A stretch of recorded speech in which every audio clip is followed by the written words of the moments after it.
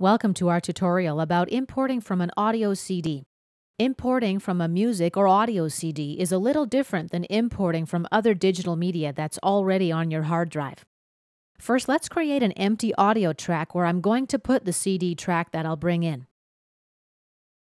It's most likely that your music CD has stereo files on it, so use a stereo configuration and click OK.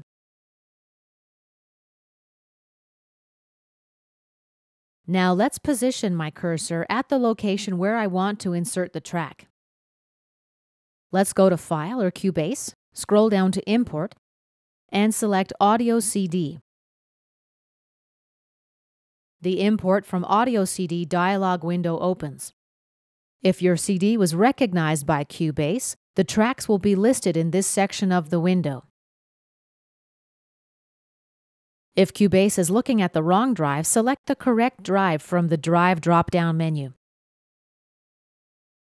Now select the transfer speed you want to use to import the files. A slower speed limits the potential for transfer errors.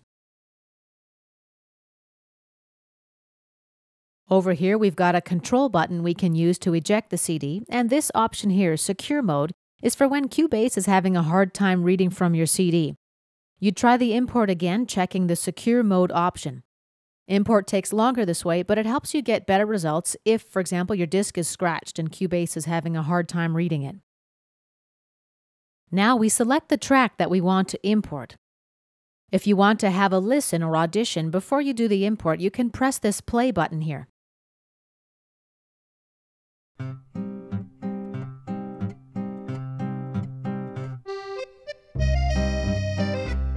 And press stop to end the audition.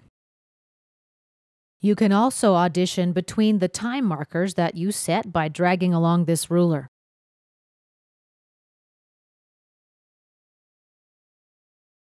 Click on this button to play from the left marker, and click on the next button to play to the right marker. If you only want to grab part of the track, you can adjust the copy start and end arrows.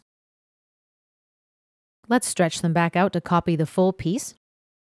Here's a volume control, by the way, for the audition. Notice that as I drag the markers along the ruler, the copy end position updates in the track list.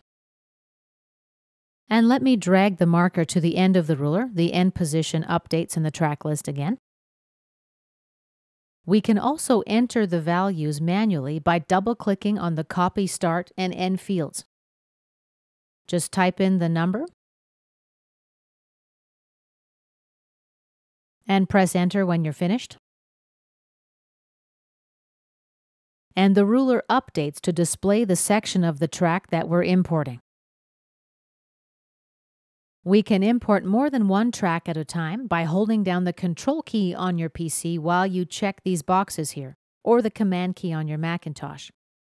You can use this to select non-sequential tracks, if you want to select a number of tracks that are sequential or all in a row, select the first track, hold down the Shift key, and select your last track. All the tracks in between your clicks are selected. Let's use the first track, Ite Vasa.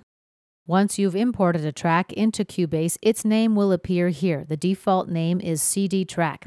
We can modify this by left-clicking in it and typing a new name. And press enter when you're done.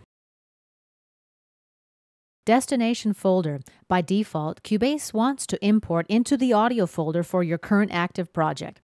If for some reason you need to change that, you can click on Destination folder and then browse for a different location. You can even create a new folder. Let's cancel out of this dialog window. When your settings are exactly as you want them, you press Copy. You have to press Copy or nothing will happen. You can't just click OK at this point. And Cubase processes our request. We get a status message waiting and then a percentage completed meter that displays Cubase's progress. We're just waiting for Cubase to get rolling here. If you need to interrupt the copy, you can click the Stop button. And now Cubase has started the copy. We see a status completed percentage, and the status meter displays that percentage that's complete.